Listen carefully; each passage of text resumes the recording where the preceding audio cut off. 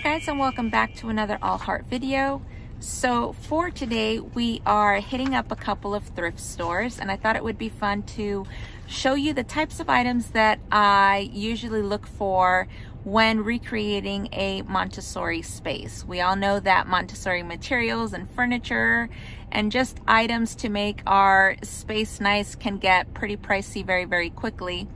So going to places like thrift stores and antique stores, flea markets, swap meets, getting things secondhand is sometimes a very, very good option. So should be quite a bit of fun. It's a very, very nice day out.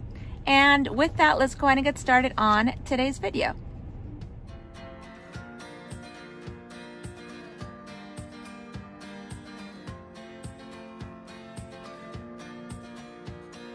Let's talk about kitchen items like these cutting boards. These would work so well for your child as they are a really, really excellent size. I'm also always able to find child size pots and pans. There's just always a variety every time I go to the store. I especially like the ones that have the little spouts at the ends as it is much easier for a child to be able to pour things out of. Being able to find child size dishes, uh, for them to either eat off of or play off of. And of course, there are always an endless supply of measuring cups and aluminum cups for them to be able to pour things in and out of other things. Now, I know this looks really big, but how fun would this be in like a sand pit or just a huge sensory tray? I was also able to find all of these different little wooden utensils that would be perfect for those sensory bins as well. Now let's talk about baskets. Baskets, especially the size, are perfect because they're not too wide and your child is able to see everything that is in there.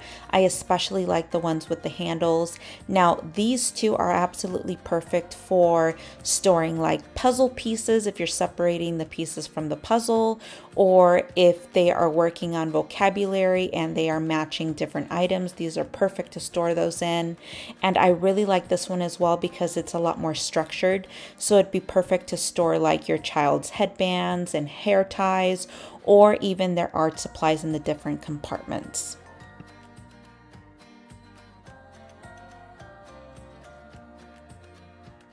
Child size furniture is something that I'm pretty easily able to find when I go antiquing. So something like this wooden step stool would work really, really well for your child to be able to grab things from their dresser or sink. This magazine rack, although I wouldn't use it for magazines or books, I would definitely use to store my children's Montessori rugs. And again, furniture like this, very easily able to find and it is a great size for your child. Here's another one of those magazine racks and take a look at this beautiful bamboo bed. This would be perfect for that Montessori bed and you can always adjust the legs very easily and this matching mirror for their little self-care station. This is another one that I was able to find. I absolutely fell in love with this one. It reminds me of something that I would find at like Anthropologie and again, you can customize the size and it would look so cute in your little girl's room. Mirrors are another thing that I am always able to find and they are perfect for that self-care station. Now check out this find guys. Now I know that it says $40 and you may be thinking, wow, that's pricey for a chair. But if you're familiar with this brand, Community Playthings, each chair is normally over a hundred dollars. So these are absolutely perfect. I've been able to see these in a lot of Montessori classrooms. So I was just so surprised to be able to find these at this thrift store. I was also able to find the most adorable little rocking chair. This would work so well in that little reading corner so your child can rock back and forth as they are reading their favorite little stories. Furniture is just one of those things that I'm just always able to find. I feel like that is the first thing that people get rid of as your children grow, but I always find such a variety. So if you are looking for child appropriate size furniture, definitely check out antique or thrift stores. And if you're like me, just a big DIYer, then something like this would be the perfect project. I know that you can transform this into something very, very lovely for your little room.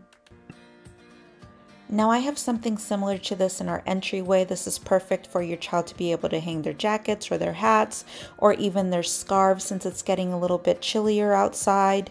And I absolutely love these bins for storing just pretty much everything.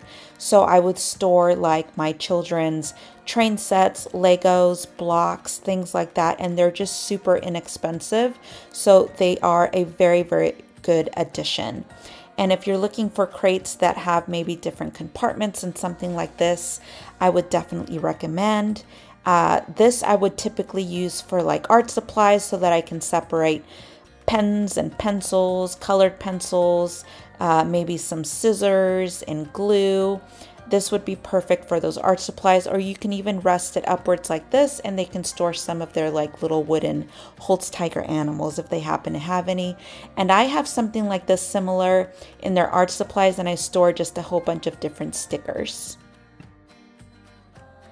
Now let's talk about just some random items that you're able to add to your rooms, such as this extra large abacus that would work really, really well in your math space. I also really like incorporating these little dough bowl trays. Uh, my daughter loves being able to use it for little trinkets, and you're always able to find different size blackboards for your homeschool. I especially love this extra large one because it included a little tray that would suit your chalk and your eraser. And I really love little trinket trays like this because it's a lot easier for you to separate different items all at once. And check out what I was able to find these vintage multiplication cards and math cards. These would be a really great addition to that math space as well. I was also able to find some different um, stamps that would be really fun for your little art areas. And lastly, I was able to find these vintage holiday inspired cookie cutters that would work really, really well for all of those holiday crafts. And that is it, you guys. I really hope that this video is helpful to you.